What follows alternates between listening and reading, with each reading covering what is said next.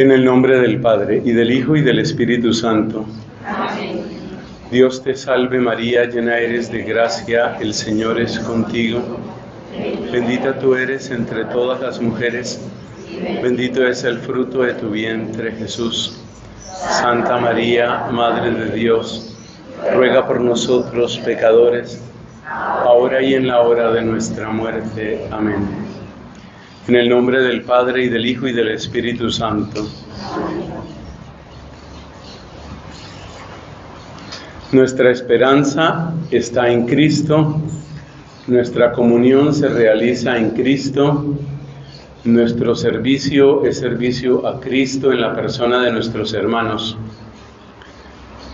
El camino de renovación, el camino de restauración y en algunos casos de resurrección de la vida consagrada siempre pasa por Jesucristo.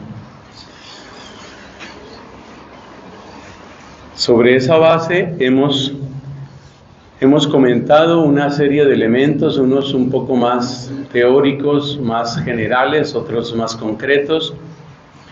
Y ahora, en esta fase final, pues estamos en algunas sugerencias y aplicaciones. En esta última reflexión de nuestro retiro tiene gran importancia la pregunta que aparece en la pizarra ¿En qué tiene razón el que no piensa como yo? Esa pregunta creo que es muy valiosa. Permítanme primero ponderar esa pregunta, ponderarla, es decir, ver la riqueza que tiene.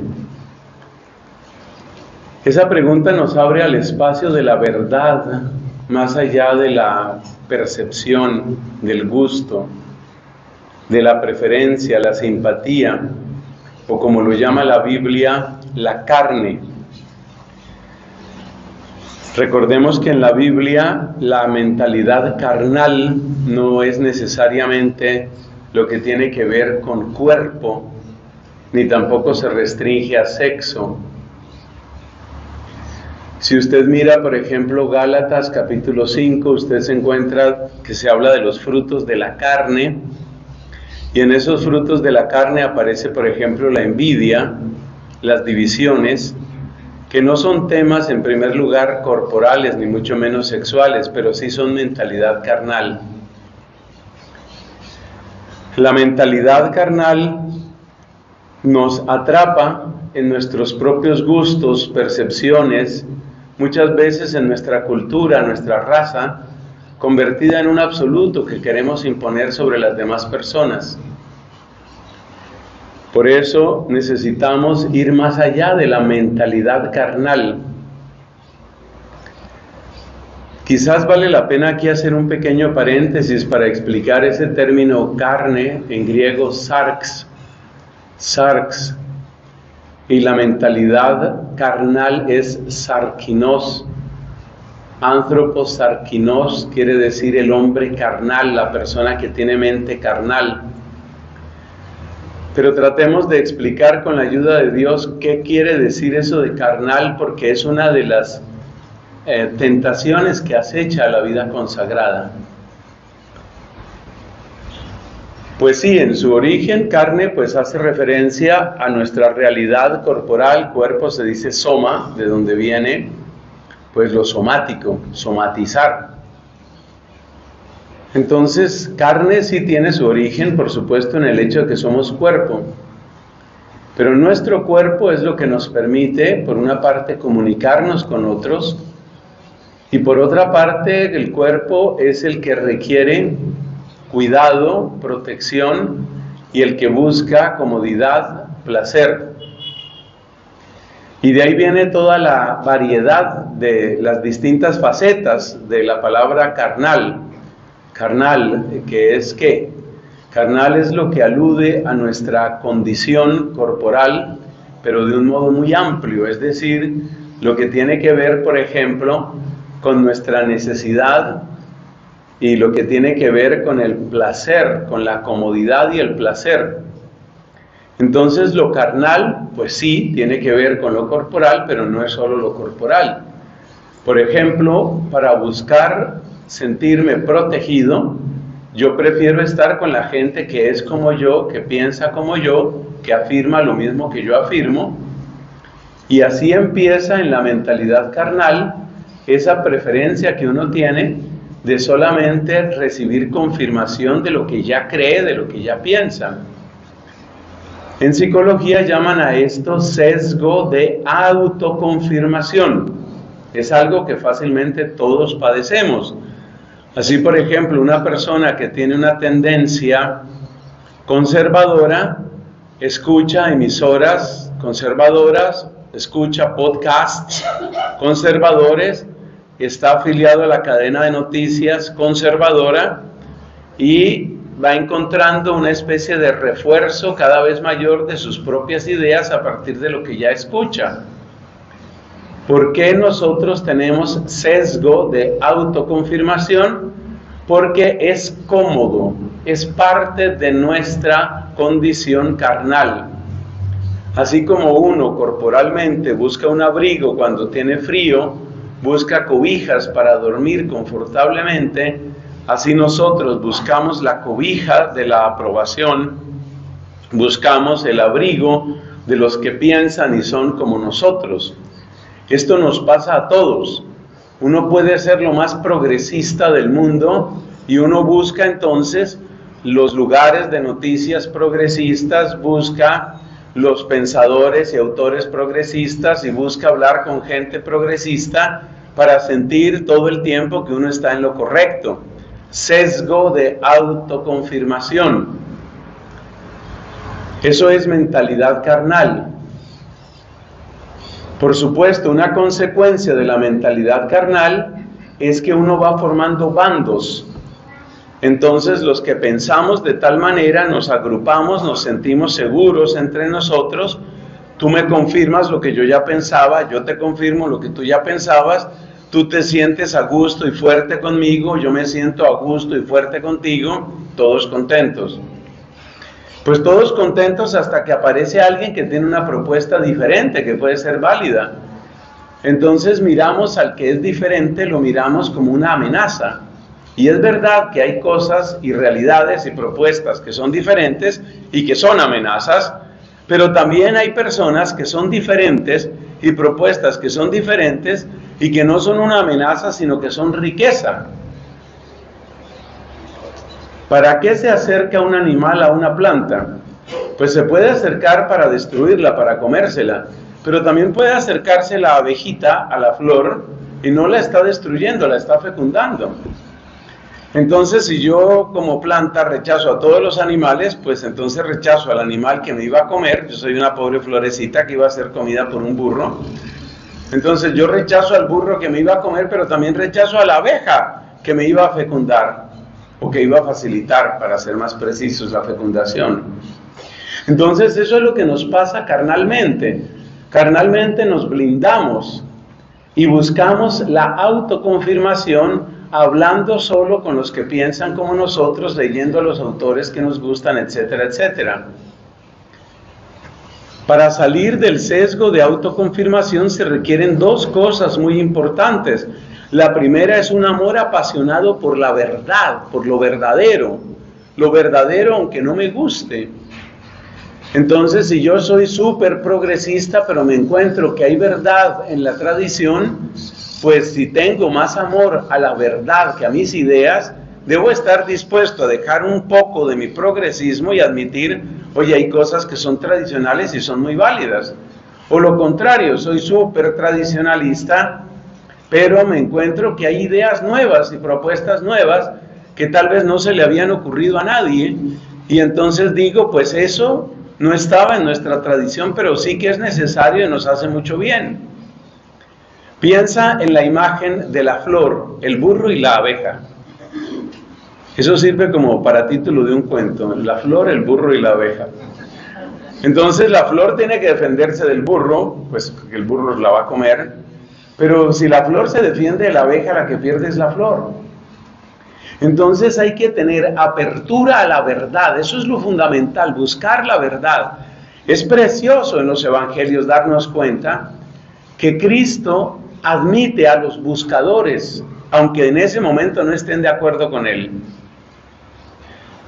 Observemos la frase que le dice Cristo a Poncio Pilato en el proceso de la pasión. Esa frase que le dice Cristo a Poncio Pilato es, bueno, como todas las del Señor, es absolutamente preciosa. Dice él, todo el que es de la verdad escucha mi voz. Y hay una reflexión muy bonita que hizo en su momento, cuando estaba bastante más fuerte físicamente, emocionalmente, el Papa Benedicto y estaba en ejercicio en su pontificado. Él hizo una confesión muy importante. Él hizo una afirmación muy importante y es la que motivó esa iniciativa de la cual hoy muy poca gente se acuerda, que fue una iniciativa de Benedicto. Él lo llamó el atrio de los gentiles. Algunos de los aquí presentes se acordarán, era una iniciativa preciosa la idea del atrio de los gentiles era crear un espacio previo que ayude a que haya diálogo y a que haya intercambio incluso con las personas que tal vez no tienen fe, no creen en Dios, pero con la idea de que todo el que es de la verdad termina llegando a Cristo. Entonces la idea de Benedicto, que la ha retomado en una versión muy diferente, también el Papa Francisco, es que no podemos cerrarnos al diálogo, porque si nos cerramos al diálogo dejamos por fuera la abeja. No podemos cerrarnos al diálogo. Entonces la idea del atrio de los gentiles está basada en la frase de Cristo, todo el que es de la verdad escucha mi voz. Pero Cristo no solo dijo esa frase, Cristo lo practicó. Observemos el escepticismo radical con que Natanael recibe a Cristo. Mira cómo lo recibe. Le dice Natanael a Cristo, apenas Felipe le cuenta, mira, hemos encontrado al Mesías. Esa es la noticia más bella que se le podía decir a un judío de aquel tiempo. Hemos encontrado al Mesías. A Jesús, el de Nazaret. Ya sabes la respuesta de Natanael. Nazaret. ¿Y es que de Nazaret puede salir algo bueno? Pues a pesar del escepticismo de Natanael, eso no detiene a Cristo para soltar uno de los pocos elogios los elogios que dice Cristo en los evangelios se cuentan con los dedos de una mano. Cristo no elogiaba. Son muy pocos elogios. ¿Qué otros elogios dice Cristo? Bueno, por ejemplo, dice, en Israel no he encontrado tanta fe. Ahí elogió al centurión. Este elogio que hace de Natanael, el elogio que hace de aquella mujer arrepentida. Son muy poquitos los elogios de Cristo. Pero a pesar de que Natanael es tan escéptico, Cristo tiene una frase blanda y elogiosa para él. Ahí tenéis a un israelita de verdad, en el cual no hay engaño. Es decir, a Cristo parece no dolerle ser recibido de esa manera tan escéptica, tan cortante, tan fría, y más bien lo que afirma Cristo, lo que pondera Cristo, es este es un buscador de la verdad, en él no cabe engaño. El otro ejemplo notable que tenemos es el de Tomás. Tomás era un buscador de la verdad. Como decíamos en un sermón hace tiempo, ¿tú te has puesto a pensar por qué Tomás no estaba con los otros? Esa es una buena pregunta. Habían quedado once porque pues, Judas se había suicidado. Habían quedado once. Y Tomás estaba por fuera. ¿Por qué estaba Tomás por fuera? Bueno, no tenemos un versículo que responda exactamente a esa pregunta, pero hay una conjetura muy razonable y es la siguiente. O sea que, atención, primicia de última hora, ¿por qué Tomás estaba fuera?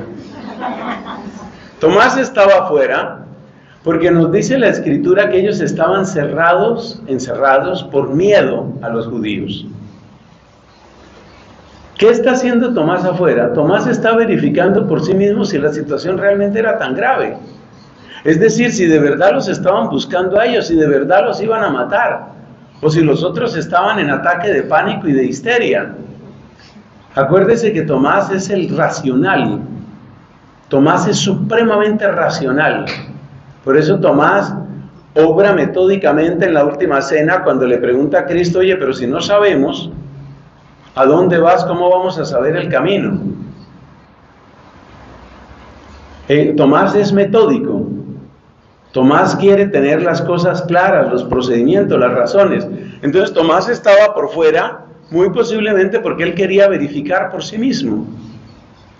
Todos encerrados, asustados, ahí medio llorosos. Y Tomás dice, pues espérate, tal vez no es tan grave. Tomás es el que quiere verificar por sí mismo, es un buscador. Y Cristo no maltrata a los buscadores. Esa frase te conviene. Cristo no rechaza a los buscadores. Esa es la perspectiva que ha tomado Francisco. Por eso en una época daba tantas entrevistas, aunque yo agradezco que ahora está dando menos. Pero en una época daba tantas entrevistas, periodistas ateos, periodistas masones, periodistas de los más acérrimos enemigos de la iglesia, y ahí estaba Francisco entrevistándose con ellos. El mensaje que quería dar Francisco es precisamente ese. Si estamos buscando la verdad, pues vamos a hablar. Y las cosas se pueden decir. Ahora, hay que comentarlo todo y el mismo Francisco había dicho, eh, a mí no me gustan las entrevistas. Y en una ocasión dijo expresamente, no sé si ya era papa o era cardenal arzobispo de Buenos Aires, dijo algo así como, a mí no me va bien con las entrevistas o no, no voy bien con las entrevistas, una cosa así parecida. Esa es la razón por la que yo digo que me alegro que dé un poquito menos de entrevistas ahora. Pero el hecho es, el hecho es que eh, el, el buscador de la verdad siempre debe tener espacio en nuestra vida. Es más peligrosa la persona que cree que ya lo sabe todo, que ya lo tiene todo claro, porque con esa persona no es posible avanzar un milímetro. El que cree que ya lo tiene todo absolutamente claro. Por eso decíamos en nuestra reflexión pasada, cuidado con creer que ya tenemos la receta. Porque el que cree que tiene la receta luego empieza a imponerle la receta a todo el universo. Ustedes tienen que hacerme caso a mí porque yo tengo la receta. Entonces es clave el ser buscadores. Ser buscadores no significa que partimos de cero. Nosotros que ya creemos en Dios y que afirmamos lo que nos cuenta el credo y afirmamos el magisterio y la tradición de la iglesia, de alguna manera seguimos siendo buscadores. ¿Por qué seguimos siendo buscadores? Bueno, pues que dice la Sagrada Escritura, de hecho dice Cristo en el Evangelio de Juan, el Espíritu Santo los conducirá a la verdad completa. Si dice el Espíritu Santo los conducirá a la verdad completa, y ese conducirá está en tiempo futuro, pues está indicando que la verdad completa está siempre en el futuro. Podemos avanzar en la verdad, debemos avanzar en la verdad, pero cuando empezamos a creernos dueños de la verdad, verdades grandes o chiquitas, ahí está muy complicada la vida. Entonces volvemos al tema de la mentalidad carnal. La mentalidad carnal se fortalece por el sesgo de autoconfirmación. Y es ahí donde la frase que aparece en la pizarra nos sirve muchísimo. ¿En qué tiene razón el que no piensa como yo? ¿Qué puedo aprender de esta persona? ¿Qué puedo aprender de ella? ¿En qué tiene razón? Una característica del pensamiento fanático es el negar en bloque. No tengo nada que aprender. Yo conocí, bueno, ya creo que es mejor no, mencionar el país, pero no fue aquí. Yo conocí un sacerdote de estos muy formados, con una teología clarísima, con una liturgia impecable, pero me llevé una terrible decepción cuando refiriéndose a uno de estos últimos papas, pero no era Francisco, decía, ¿y qué me podrá enseñar a mí? ¡Wow! ¡Wow! Eso se llama arrogancia. Eso se llama arrogancia, es decir, ya tengo la verdad plena. No, necesitamos aprender, necesitamos avanzar. ¿Qué puedo yo aprender de esta persona? ¿Qué puedo yo aprender de este pastor? Tal vez no es el obispo que más me gusta, tal vez no es el papa que más me gusta. Bueno, de acuerdo, a uno les gustará más uno, a otros más otro. Pero ¿qué puedes aprender? ¿Qué puedes recibir? En la medida en que todos en una comunidad nos vamos haciendo esa clase de preguntas, entonces empezamos a avanzar. Hay que tener cuidado de darle su lugar a todas las voces. El libro de Daniel, en aquella historia, que es como un pequeño cuento, casi una pequeña novela, la historia de la casta Susana. Ustedes recuerdan la historia de esta mujer que era muy bella, una mujer casada, y entonces un par de jueces de Israel estaban obsesionados, apasionados por ella y querían abusar de ella y como no lo lograron le inventaron una calumnia y entonces pues había que aplicarle la ley de Moisés. La calumnia que le inventaron es que ella era adúltera. Bueno, pues mientras la llevaban a ejecutar, un jovencito llamado Daniel, eso es lo que cuenta el libro que lleva su nombre, un jovencito llamado Daniel dijo, yo no soy responsable de esa sangre. Y la gente quedó espantada de que un muchacho se atreviera a hablar en público y en esos términos. Y bueno, conocemos el desenlace de la historia. Daniel, de una manera muy astuta, logra demostrar que este par de ancianos corruptos, en algunos países se les llama viejos verdes, que este par de viejos verdes simplemente se habían puesto de acuerdo para vengarse de ella porque ella había permanecido en castidad matrimonial. Ella había sido fiel, pero como no había cedido a las pretensiones de ellos, por eso querían vengarse crudelísimamente de ella.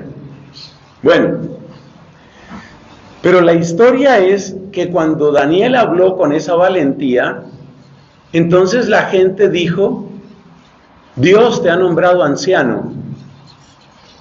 Dios te ha nombrado anciano. Es, es, una expresión muy interesante en una sociedad tan tradicional. Dios te ha nombrado anciano.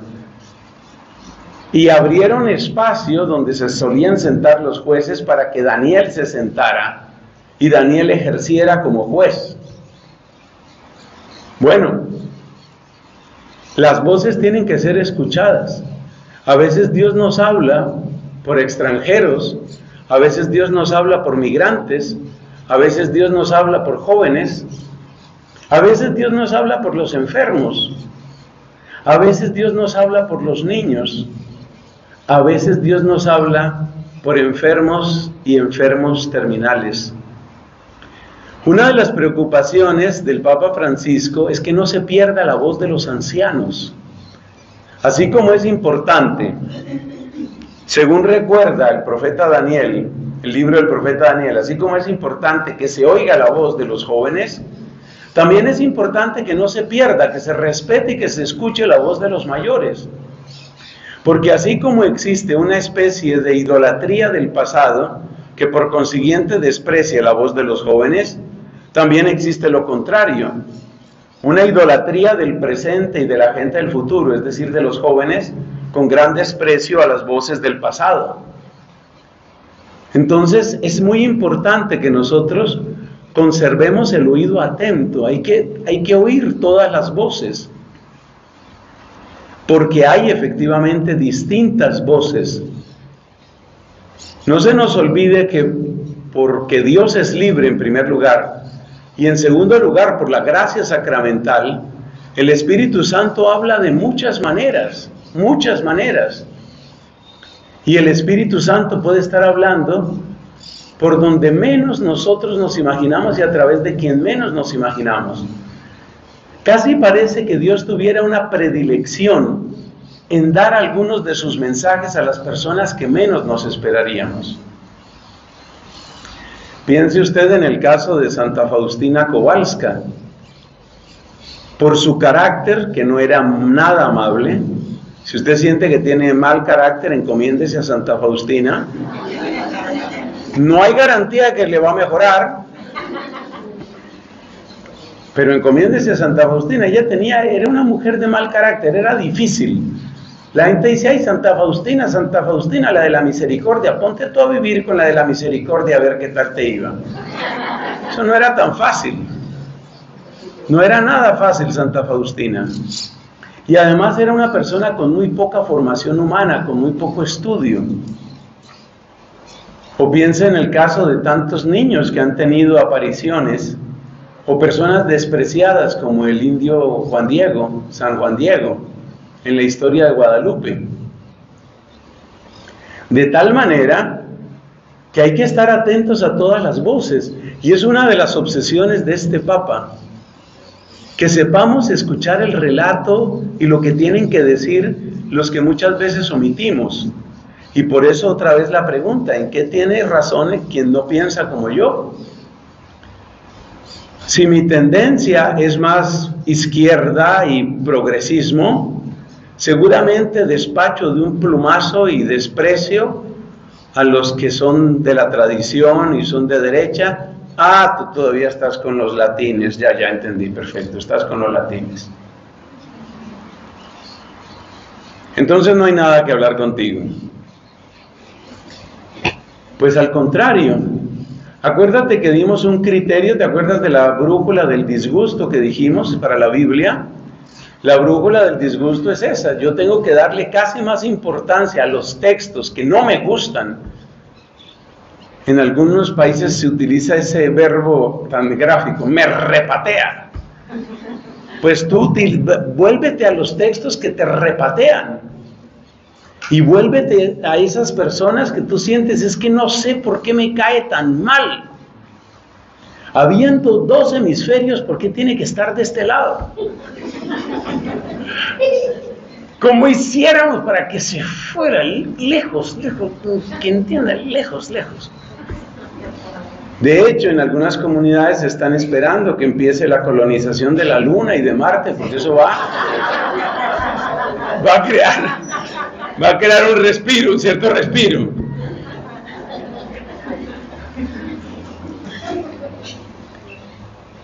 Hay que oír al discapacitado.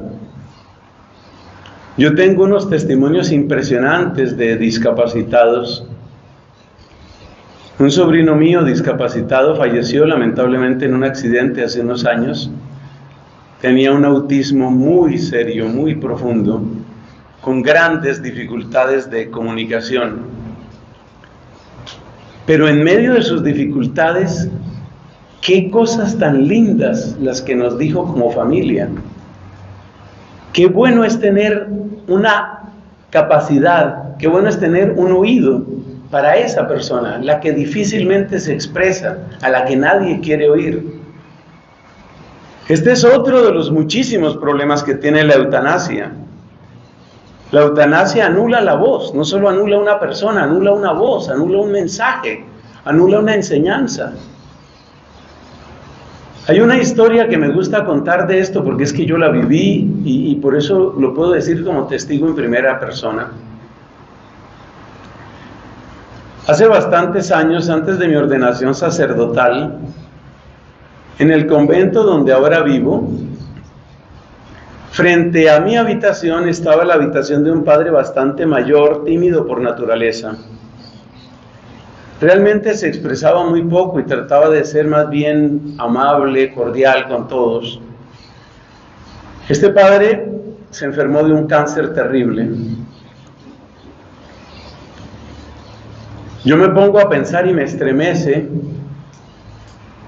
Me estremece cuando pienso que la eutanasia anula voces.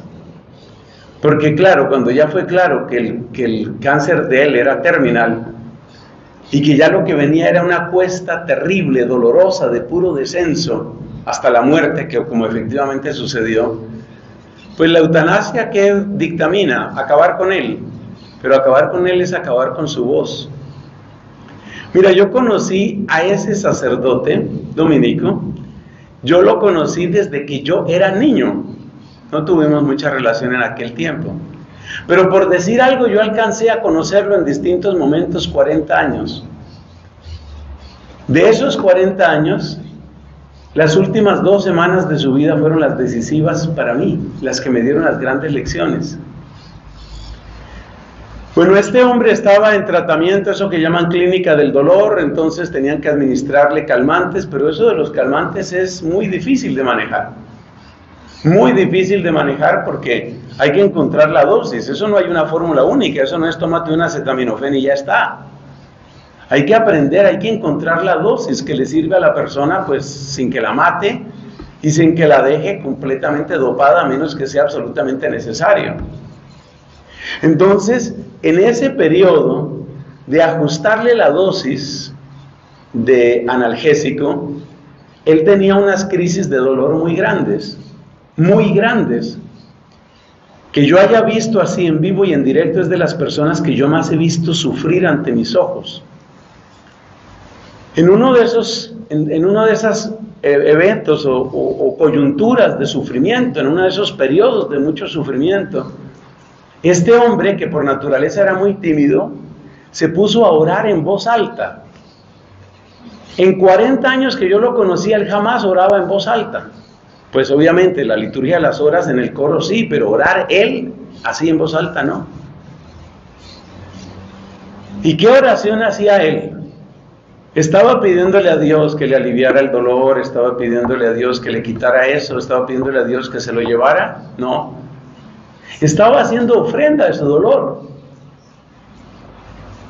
O sea, él que era sacerdote y que había ofrecido muchas veces la misa, aquí estaba ofreciendo la misa de su cuerpo destruido. De su cuerpo roto. Él estaba vuelto una hostia. Estaba vuelto una víctima y se estaba ofreciendo a sí mismo se estaba ofreciendo por nosotros, por mi comunidad, por los jóvenes, por las vocaciones, por el país. Él estaba haciendo una oración sacerdotal y esta vez la víctima era él mismo. Me considero muy bendecido y muy, muy afortunado de haber escuchado esa oración. Jamás se me va a olvidar, jamás. Ver a una persona que sufre así, y que no piensa en sí mismo, sino que ofrece lo suyo por la iglesia, por la orden, es una cosa que a ti te traspasa el corazón. Y ahí es donde yo digo, no podemos perder esas voces. Esas voces no podemos perderlas. Hay que acompañar al agonizante, hay que acompañar al que sufre. Hay que estar cerca del enfermo terminal. La eutanasia quiere que amarremos una mordaza y que callemos esas voces porque supuestamente nos incomodan.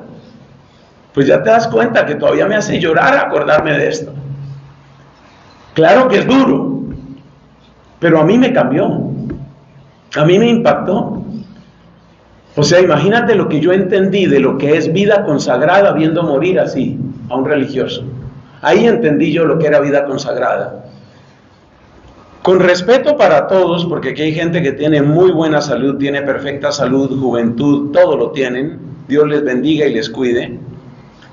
Pero créeme que ver morir a una persona ofreciéndose te dice algo muy profundo sobre lo que es vida consagrada. Eso es vida consagrada. Ese, ese nivel de entrega, ese nivel de despojo de sí mismo. Es que lo que más me impactó fue eso. Yo lo escuchaba orar no pedía nada para él. Yo creo que eso es una muerte santa. Entonces hay que estar atentos a las voces. Hay que estar atentos a las voces por donde me quiere hablar el Espíritu Santo. A través del discapacitado, a través del enfermo terminal, a través del pobre,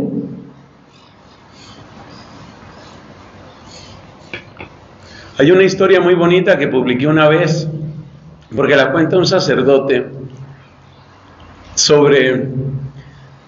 E, este, esto sucedió en una parroquia del campo. Bueno, en esta, en esta parroquia, pues el padre solía dejar el templo abierto, como es común en tantos lugares donde se puede. Y un muchacho estaba ahí sentado un día, un muchacho con su celular estaba ahí sentado y el muchacho estaba mirando el celular en la iglesia. Entonces el sacerdote sintió que era su deber pastoral, pues comentarle al muchacho que no necesitaba del celular para hacer oración en la iglesia, que la iglesia no es para eso.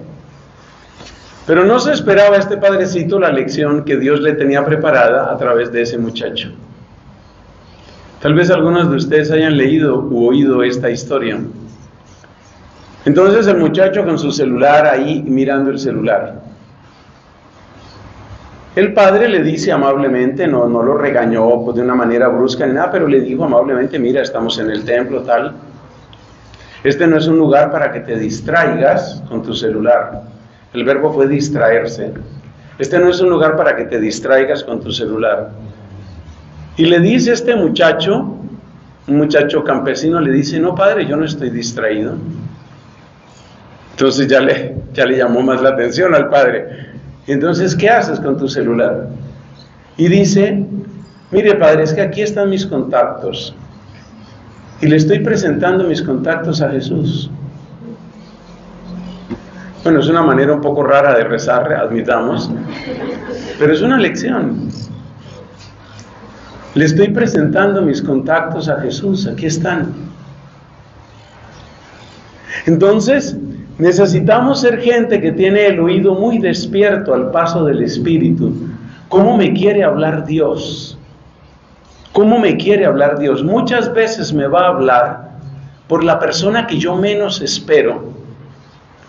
Observen ustedes que Cristo parecía enfatizar este aspecto. En la, en la parábola de, que llamamos del buen samaritano, ¿A quién pone Cristo de ejemplo? A uno que era despreciado, incluso odiado por los judíos. Lo pone de ejemplo, como diciendo, aprende del que no crees tú que puedes aprender. Fíjate en aquel al que nunca miras, el samaritano. Y acuérdate, ya hemos mencionado en otro momento en la escena del centurión, ¿no? ¿Qué dice Cristo con el centurión? Os aseguro que en Israel no he encontrado tanta fe. ¡Qué impresión! Puso como ejemplo de fe a un incircunciso pagano del enemigo invasor. Lo puso como ejemplo de fe.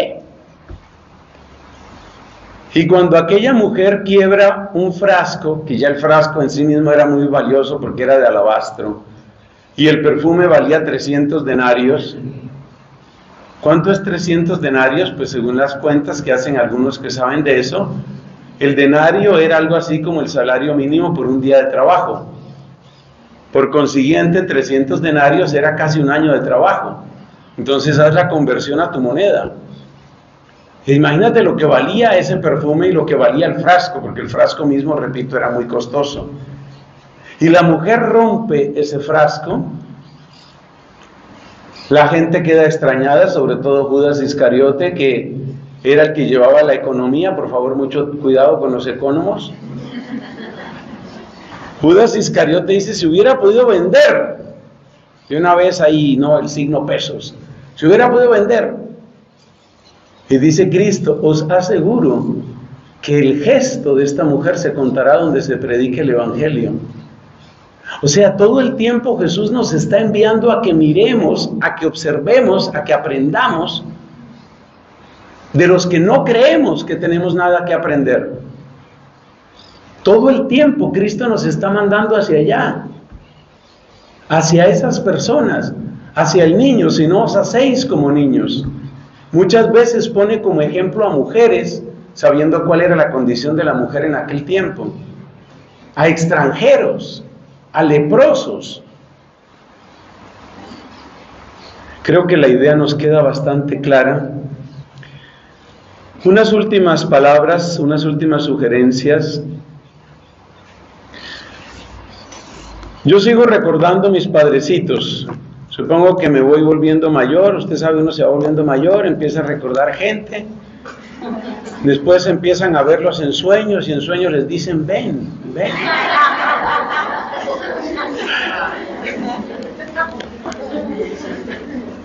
Aquí me voy a acordar de otro padrecito que era mi confesor ahí en mi convento. Estaba yo estudiando teología, este padre era mi confesor. Yo me confesé con él, eh, fuimos a la capilla para la confesión, él se movía con mucha dificultad, estaba muy enfermo. Una semana después de mi confesión, él murió. La verdad es que varios de mis confesores han muerto. Varios de mis confesores, sin conexión entre sí. Varios de mis confesores han muerto. Así que parece que hay un cierto peligro en eso de confesarme. bueno, este padre, yo voy a confesarme donde este padre y bueno, le cuento mis miserias. Él me escucha con esa paciencia. Yo tengo muy buenos recuerdos. Yo sé que hay gente que ha sufrido con la confesión. Me imagino que yo he sido un bendecido, un privilegiado. Yo he tenido muy buenos confesores. Este padre me escucha pacientemente, pues todas mis miserias. Se queda en silencio un momento. Mire, yo les puedo asegurar claramente, él ya tenía la mirada más puesta en la eternidad que en esta tierra, porque él estaba muy enfermo en ese momento. Ya te dije que una semana después murió. Y para mí es notable el hecho de que, a pesar de que perfectamente hubiera podido confesarme en su habitación, todo el mundo lo hubiera entendido, él quería que la confesión fuera en el oratorio. Y caminó dificultosamente hasta allá porque él quería dejar como esa herencia. Bueno, en todo caso yo le cuento mis miserias y me dice el padrecito después de quedarse un momento en silencio. Él con su mirada puesta en la eternidad, porque ya casi no lo miraba uno, él se quedaba mirando a lo lejos, él ya estaba mirando el, el otro borde. Y dice él que no se te pase el tiempo sin amar a Dios.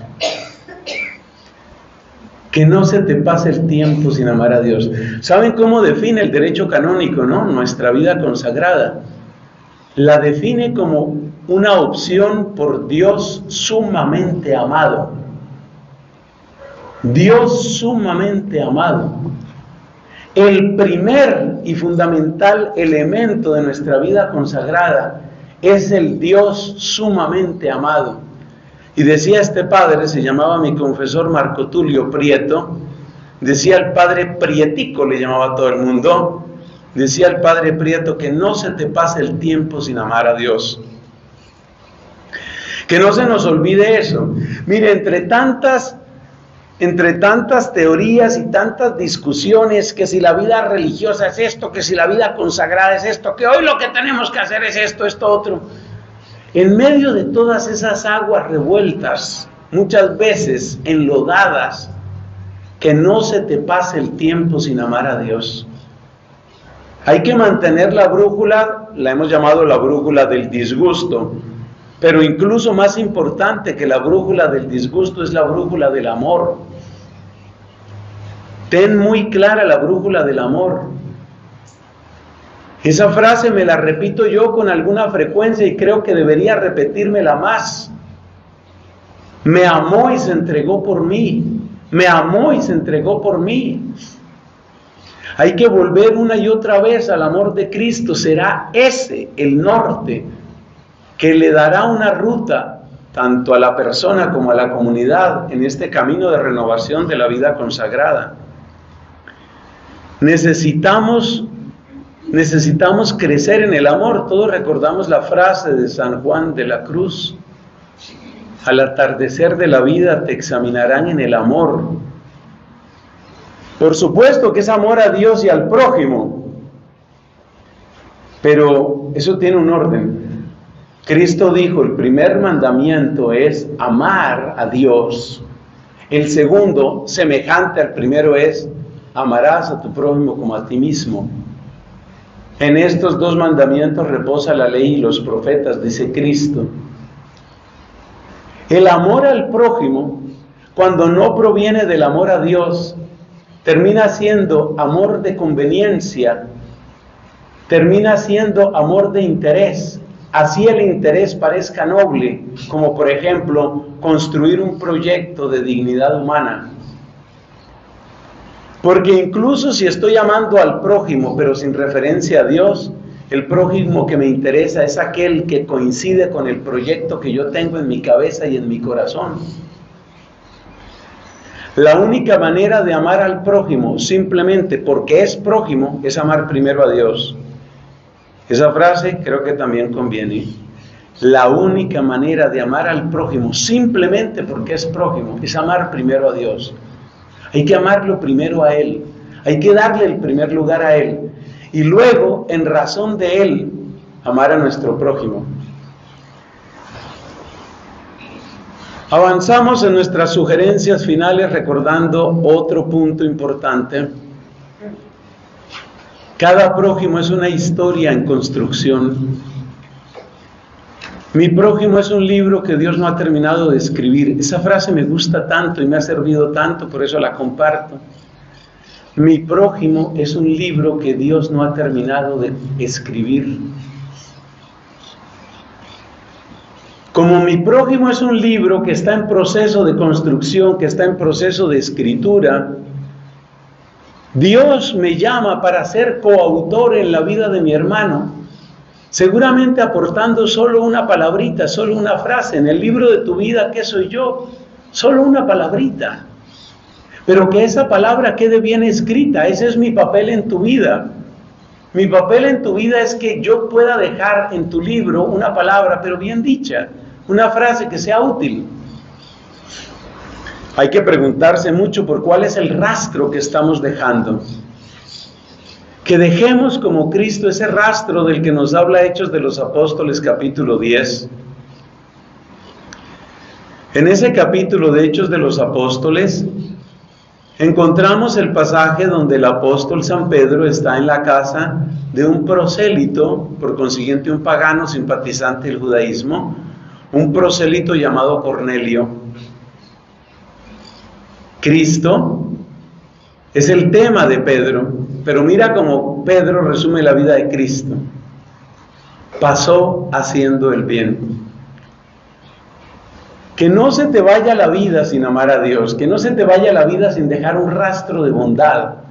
Mira, más allá de las discusiones que siempre las tendremos, siempre las tendremos, más allá de las discusiones, los desacuerdos, más allá de todo ello, la gran pregunta, la pregunta fundamental es, ¿cuál es el rastro de amor que estoy dejando en mi hermana, en mi hermano?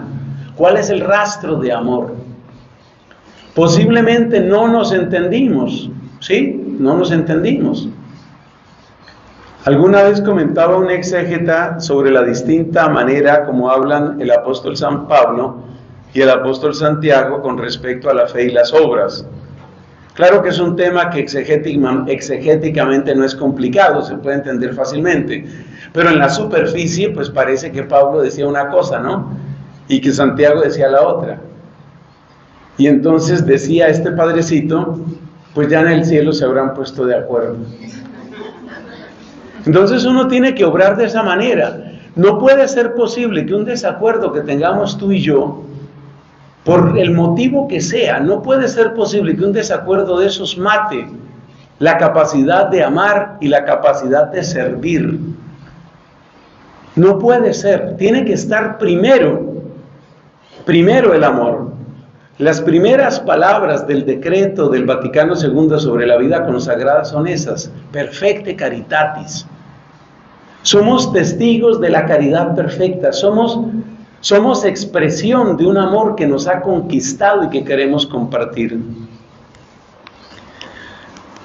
No olvidemos,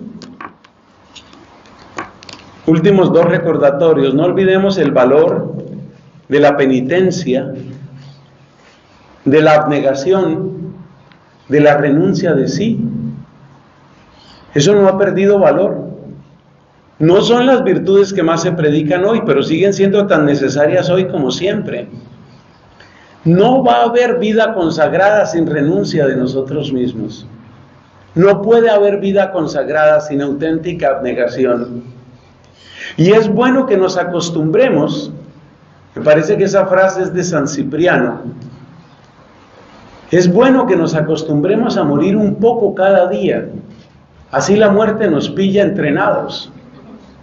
Hay que morir un poco cada día. Hay que morir un poco a nosotros mismos, aprender a ceder. No todo tiene que ser, ni tampoco puede ser, no todo tiene que ser a mi gusto, no todo. Hay que aprender a morir. La abnegación es necesaria.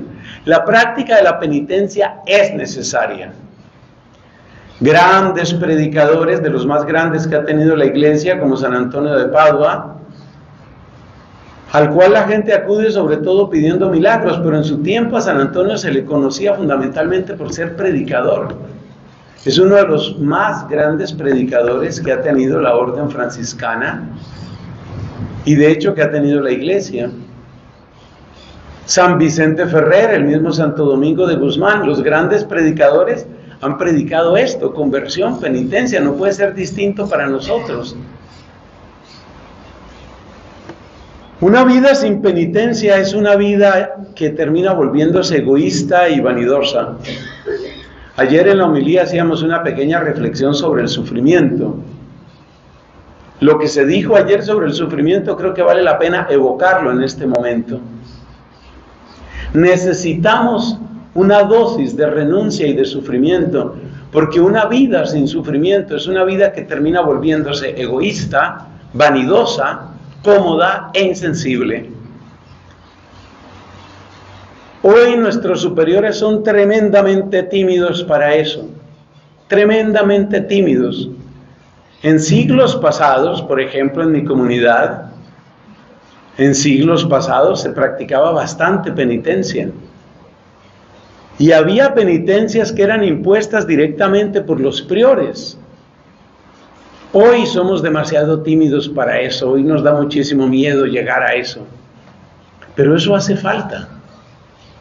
Y es curioso que entre nosotros los consagrados haya tanta resistencia y tanta desconfianza con el tema de la mortificación y la penitencia, cuando muchos laicos lo están redescubriendo.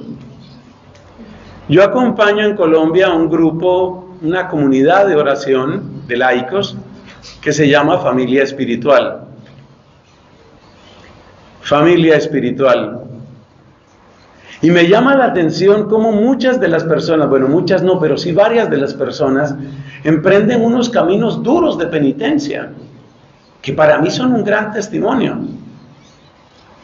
Hay un tipo de penitencia, yo no necesariamente lo recomiendo, pero les cuento que eso existe, que son los ayunos de 40 días a pan y agua. Y hay una cantidad de gente que está haciendo ayunos a pan y agua, laicos. Entonces nosotros los religiosos que tenemos la vida entregada a Cristo muchas veces somos muy cómodos y muy no solo cómodos sino acomodados y muy aburguesados y muy que no me falte nada y cuidado si falta algo porque entonces caemos con ímpetu digno de mejor causa Caemos contra los pobres economos, hay que compadecerse de los economos. Pero ¿por qué falta esto? ¿Pero aquí qué pasó? ¿Por qué no se ha arreglado esto? O sea, no soportamos, les digo, pues de la experiencia que yo tengo y de lo muy acomodados que a veces somos nosotros. Y aquí, ¿por qué falta esto? ¿Y esto por qué no se ha arreglado? ¿Y cuándo se va a solucionar esto? ¿Qué pasa? ¿Qué pasa? ¿Qué pasa que no se arrodilla y llora? A ver, ¿qué pasa? Hasta que llore. Llore. No ha arreglado el problema. Una exigencia, somos de una exigencia, de una intolerancia a cualquier poquito de sufrimiento. Y yo veo los sacrificios que están haciendo una cantidad de laicos. Por ejemplo, una señora que para datos de ustedes se conserva en bastante buena salud y además ha adelgazado bastante, ya ha hecho tres veces el ayuno ese de los 40 días. 40 días a pan y agua. Claro, yo no le he preguntado eh, a qué panadería le compra. Porque todo puede suceder también. Mal chiste. Pero en todo caso, sea cual sea el pan, unos 40 días, es que lo hacen no solo por cuaresma. 40 días a pan y agua es mucho. Claro, cuando me preguntan a mí, yo siempre les digo, mira, me parece que es prudente que consultes esto con un médico. Me parece, porque de todas maneras hay problemas nutricionales o descompensaciones que te pueden dar. Yo digo eso, pero ¿y yo? Entonces tenemos que preguntarnos eso, ¿dónde está la dimensión de penitencia nuestra? La nuestra. Porque si no nos vamos volviendo, como también dice el Papa Francisco, un club de solterones o solteronas, según el caso. Nos volvemos un grupo de niños ricos con algunas prácticas de piedad, ojalá ágiles, prontico, prontico. Trabajadores solteros, eso es muy poco. Entonces conviene recordar esto. Yo le suelto este dato. Mire usted la historia de la iglesia y verá que nunca se dio una reforma de la historia de la iglesia sin penitencia. Y muchos de los grandes santos fueron grandes penitentes. Eso es así. Ahora que la penitencia hay que saber cómo practicarla y que hay muchas precauciones que hay que tomar porque también en la penitencia, como también advierten otros santos, se puede entrar una cantidad de orgullo. Pero la verdad es que sí hace falta. La verdad es que sí se necesita. Y la verdad es que sí hay aspectos de nuestro mal carácter que solo terminan domándose a través de penitencia. No puede ser que tantos santos, incluyendo este que nos preside aquí, Ignacio de Loyola, no puede ser que tantos santos hayan vivido una vida de penitencia y todos estuvieran equivocados. Finalmente, no se nos olvide la dulzura en el trato con Cristo. No sé en qué momento se metió en algunos rincones o en algunos sectores de la vida consagrada, se metió como una desconfianza hacia todo lo que fuera piedad, todo lo que fuera devoción. Yo no, no, sé de dónde salió eso. Algunos lo asocian con el posconcilio y con ciertas actitudes posconciliares. No tengo yo autoridad ni conocimiento suficiente pero lo que yo sí detecto es que así como hay laicos que están practicando y viviendo penitencia como nosotros no la practicamos, hablo en general, habrá excepciones, así también yo noto una dulzura, una dulzura mística, una dulzura, una piedad, un deseo de derretirse de amor por Jesús en muchas personas. El otro día, por ejemplo, en, una, en un grupo de oración allá en Bogotá, me pasaron la, la grabación, yo no estuve ahí. Era una adoración eucarística. Oye, me impactó tantísimo ver la manera de amor de tantas personas hacia Jesús en la Eucaristía. ¿Por qué nosotros, en qué momento nosotros nos volvimos tan desconfiados de, la devoción, la piedad, la dulzura? A un amigo que trabaja en internet en un portal católico, eh, yo le comentaba sobre una obra que me gusta mucho, que se llama Meditación Devota de la Pasión de Cristo. Y me decía él, mira, con esa palabra ese libro no tiene salida, porque tenía la palabra devota. O sea, lo que sea devoción, lo que sea piedad, no sé, a mucha gente le causa como una alergia, pero yo no he encontrado esa alergia tanto entre los laicos y sí la he encontrado mucho más entre nosotros. Y así aparece también la resistencia a todo lo que sea como la ternura, la dulzura en el trato con Jesús. Entonces me he encontrado con comunidades que prefieren ser trabajadoras del reino y no esposa de Cristo. Yo soy trabajadora. Yo, lo mío es la pica y la pala. Pica y pala por el reino de Dios. Pues mira, es que la vida consagrada tiene una historia, la vida consagrada tanto masculina como femenina tiene una historia. Y yo creo que nos tiene que hablar mucho eso. Muchas, por no decir todas, las grandes santas han cultivado una espiritualidad esponsal. Eso ha sido algo impresionante. O sea, tú piénsalo de esta manera. No sé, estos son temas controvertidos. Habrá quien diga, bueno, ya estuvo la opinión del padre y ya se acabó el retiro. Listos. El siguiente. Pero como dijimos en otra charla, mejor equivocarse uno hablando y hablando como hermano y hablando con sinceridad. Tú ponte a pensar en promoción vocacional. Consideremos estos dos títulos, trabajadora y esposa. Tú vas a ser trabajadora para la causa del reino de Dios. Tú vas a ser esposa de Cristo. Bueno, son dos realidades y ambas son importantes. Trabajar por el reino de Dios, o sea, trabajar para que reine Dios, es algo glorioso. Trabajar para que muchas personas tengan vida, vida digna y vida en abundancia, es algo muy bello, es algo noble.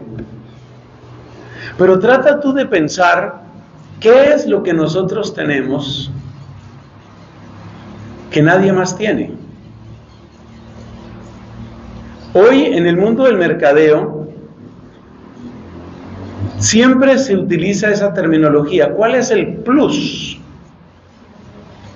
Si tú quieres ofrecer una nueva bebida, un nuevo refresco, vamos a entrar al mercado de Santiago y vamos a entrar con un nuevo producto, es un nuevo refresco.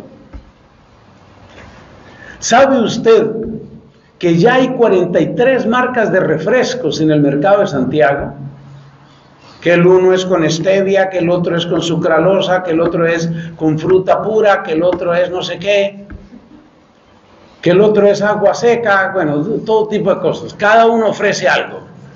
Hay 43 marcas de refrescos que tú puedes conseguir en los mercados de Santiago. Y tú quieres llegar con el producto 44. ¿Qué te dice un experto en marketing, ¿qué es lo que te dice? ¿Qué es lo propio suyo? O sea, ¿cuál es su plus? ¿Qué trae usted de nuevo a un mercado que ya tiene muchas cosas? Bebidas lácteas, bebidas de almendras, bebidas de soya, bebidas de unas y de otras con mucho alcohol, con poco alcohol, cerveza no alcohólica, alcohólico, no cervecero, bueno, todo, todo te lo ofrecen. Hay 43 marcas de distintas bebidas en Santiago. Tú traes la 44. ¿Qué trae tu 44? Ese es el mercado hoy en la sociedad y en la iglesia. ¿Cuál es tu mercado? ¿Cuál es tu mercadeo? ¿Cuál es tu plus? Entonces sí, es verdad que somos trabajadores, claro. Trabajadores de la viña del Señor, decía Benedicto, sí, somos trabajadores. Pero tú piensa si es posible ganarle a la expresión esposa de Cristo. Tú piensa lo que eso significa en términos de una entrega radical, una entrega total y para siempre, una entrega en cuerpo y alma, una entrega que es afectiva y efectiva, una entrega de todo tu tiempo, tus fuerzas, tus ideas. Por supuesto que de algún modo es una metáfora. Tú piensa la raigambre bíblica que eso tiene. Tú piensa lo que significa, como hablaba San Juan Crisóstomo a las vírgenes, tú piensa lo que eso significa en términos de símbolo de la iglesia. Es que tú misma te conviertes en símbolo de la iglesia. Todo esto para decir que yo creo que tenemos algo que aprender de esas terminologías antiguas y un poco desusadas hoy. Creo que tenemos algo que aprender. Creo que tenemos algo que aprender y algo que decir con palabras como piedad, devoción, dulzura, intimidad, mística, santidad, así como tenemos algo que aprender y algo que decir en términos de abnegación, penitencia. No se trata de un salto nostálgico hacia el pasado, más bien se trata de descubrir claves en nuestro presente que quizás pueden abrir un mejor futuro. Gloria al Padre, al Hijo y al Espíritu Santo.